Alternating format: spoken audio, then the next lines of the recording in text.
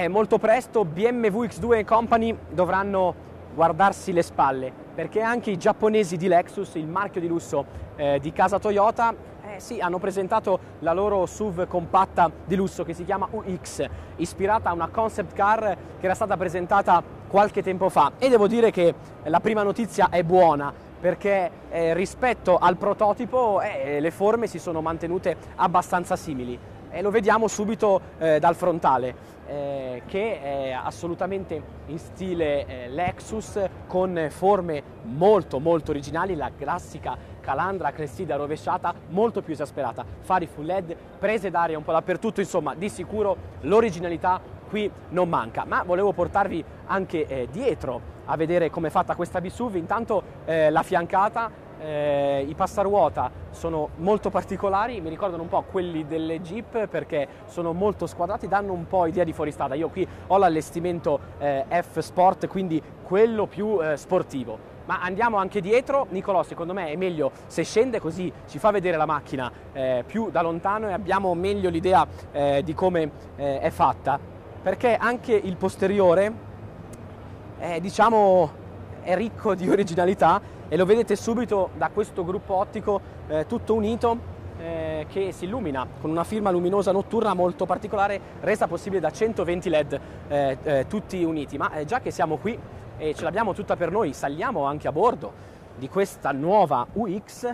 eh, per vedere come è fatta ah ed eccoci qua a bordo? Beh, insomma, ritrovo un po' l'impostazione delle ultime Lexus a partire dalla SUV compatta, ma più grande della UX, cioè la NX, però è tutto decisamente eh, più moderno. Intanto il display centrale ora a sviluppo orizzontale è molto ampio e la strumentazione qui eh, davanti a me è completamente digitale, un po' come vuole la moda del momento. Sempre qui i ripiani un po' a pianoforte, a cui ci ha abituato eh, la Lexus, bellissimo l'impianto Mark Levinson, suonano benissimo su queste Lexus, tra i migliori che abbia mai provato. Vedo però una cosa che non mi piace ed è il solito sistema eh, che hanno sviluppato i giapponesi per l'immissione dei vari comandi nel sistema multimediale che ha questo pad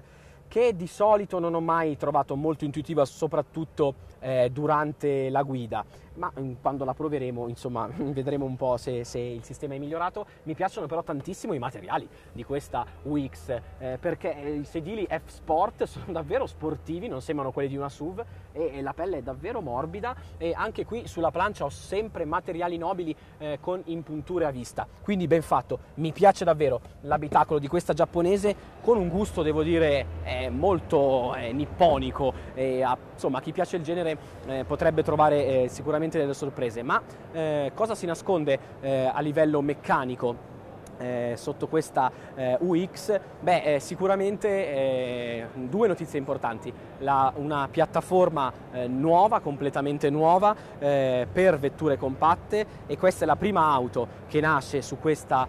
piattaforma GAC, mi pare che si chiami, e, e per quanto riguarda le motorizzazioni, scordatevi ovviamente il diesel, perché siamo sempre in casa Lexus, ma abbiamo un 2000 4 cilindri a benzina eh, in linea ovviamente, eh, turbo eh, da 168 cavalli se non erro, ma bisognerà vedere poi se verrà portato effettivamente in Italia perché sapete che Lexus in Italia ha solo modelli ibridi. E poi la motorizzazione invece quella più interessante per noi italiani che è quella che vedete qui, la 250H, H quindi hybrid, eh, che mm, eh, monta un, eh, sempre un motore a benzina termico, 2 litri però, eh, di nuova generazione abbinato al sistema ibrido eh, Toyota Lexus diciamo di quarta generazione per una potenza complessiva di circa 176 cavalli quindi con eh, la solita trasmissione ECVT eh, che piace tanto a chi guida tanto in città, anche perché abbatte molto i consumi. Intanto vediamo la fiancata di questa SUV super originale, ma voi mi dovete dire eh, come vi è sembrata, se vi è piaciuta e se osereste tanto, o invece se vi orientereste su qualcosa di molto più classico, alla tedesca. Raccontatemelo nei commenti qui sotto. Ciao, alla prossima auto!